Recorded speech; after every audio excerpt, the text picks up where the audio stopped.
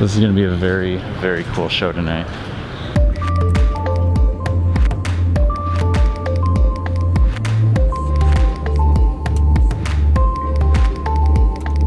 Finally in Toronto, now headed on the train to downtown Toronto.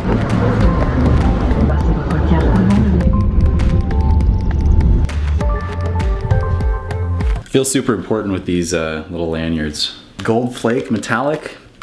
Come on. Doing a vlog on how to be a TM. How to be TM. First step, go to Lululemon, purchase these shorts. They have four-way stretching in every direction. So you can do this, you can flex easily. Someone comes on stage, you can get a nice good kick, kick them off into the crowd. Does that help your performance when you hit the CO2 button?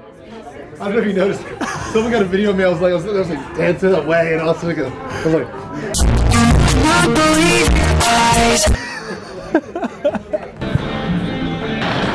Thank you. You're for the DJs, right? Yes, sir. I'm a little heavy. yeah, these things are heavy. Thank you, Scott. Okay. it looks like it was uh, out of Terminator Judgment Day, you know, like, especially at night when I turn off the lights because I can disable the front and rear lighting on it. So it just, it's stealth mode, just kind of hovering, staring at you. Do you ever watch those videos from Boston Dynamics? Yes, those things scare the shit out of me. Yeah.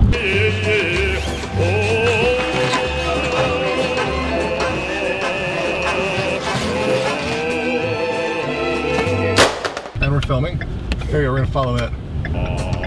Oh wait, stop, stop, stop, stop.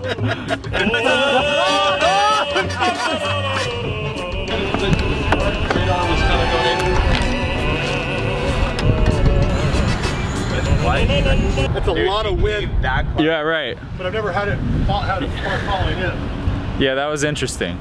there were more cameras than people involved in that whole scenario, dude. I'm gonna, I'm gonna have it walk in with us.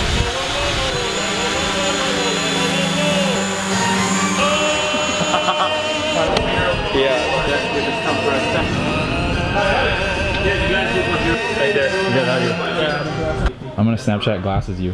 You may Snapchat glasses away. The drone whisperer. Phenomenal. Fuck yeah.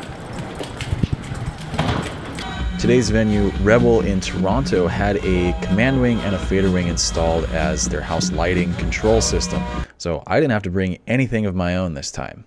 I'd say the most difficult part of this programming session was getting the little 360i dot fixtures on the three circular automated trusses in the middle of the room to uh, work with the rest of my show file and be a unique part of the show uh, even though my cloning isn't designed for circular trusses. I actually ended up putting the infinite pan and tilt on a temp fader with an even odd rotation direction. So I could switch between normal pan tilt mode and then with the press of a button on screen, I could switch over to continuous mode and use a fader to spin opposite directions with adjacent fixtures. If I drop it, it's because Yeah, but then this will be a good video. Are you ready? Yeah, that'll be uh, okay. Yeah, I'm ready. All right, three, two. This is gonna be a very, very cool show tonight. This is so cool. Yeah, you can see everything. The, Yeah, the boss is here. Hey. Don't close. No, we got back. Wait, what? That's all right. That's all right. We're, oh, you guys are going? in the venue. Sorry, I'm late. I just no, it's okay. Playing at 11, so as long as we can get there in time. Yes.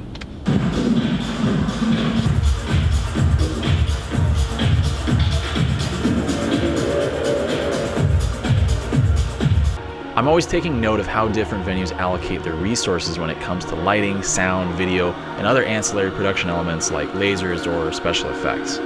Of course, I'm a little bit biased when it comes to evaluating the lighting side of things. I always think the budget for lighting should be double what it is. And in the case of Rebel, I have to say everything is very, very well balanced. Rebel obviously has a huge focus on video. And normally I would knock a few points off of a venue for not having strobes or blinders of any sort, especially with how many EDM acts come through. But thankfully they use their LED wall in creative enough ways to where I didn't really even miss having the atomics. Oh, okay, I missed having the atomics, but they still did a good job of making it seem like they were there.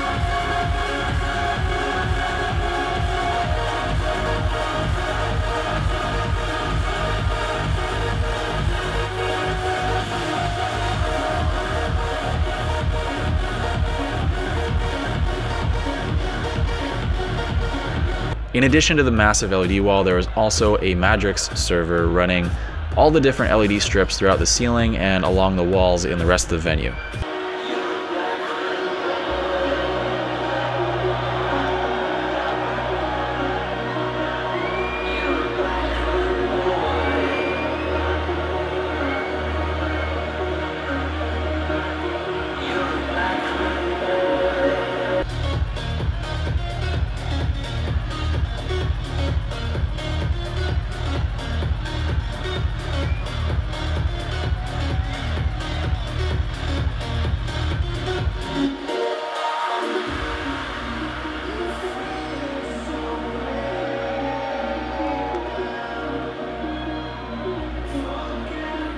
I must apologize, I didn't have enough time to talk to the automation tech who was in charge of operating the moving rings in the center.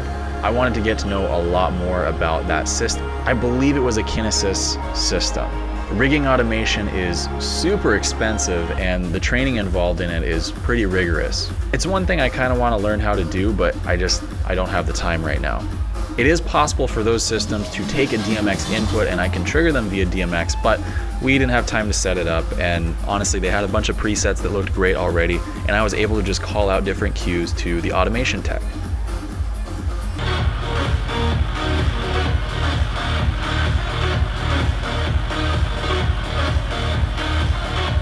When this whole tour got announced, I did a bunch of research on the different venues, you know, doing my due diligence, and Rebel stood out as possibly my most anticipated venue of the entire run.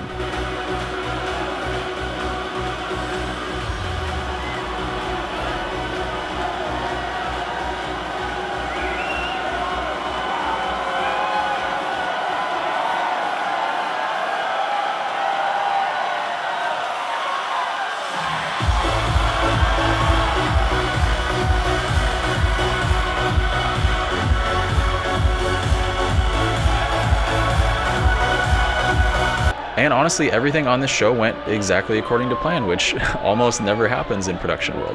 As far as I could tell, nobody dropped the ball on either side of the fence, and when that happens, great shows happen.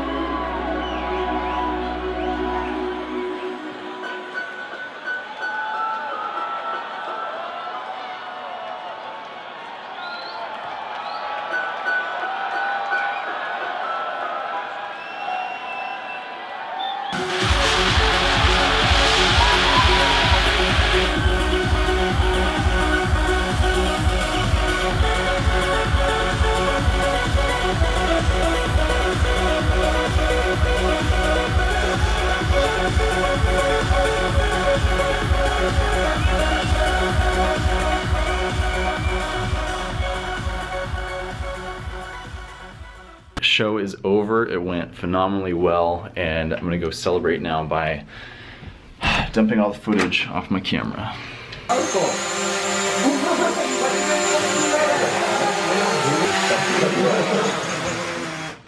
Why? It will cut you up, I'm telling you. Ah, yeah. Is that tonight? That is just going to about do it for this video. Thank you so much for watching, and if you are new to the channel, make sure to hit that subscribe button and leave a comment down below. What did you like? What didn't you like? I want to hear. And you can always follow me down below in my social media accounts down in the description. Thanks for watching, and I will see you in the next video.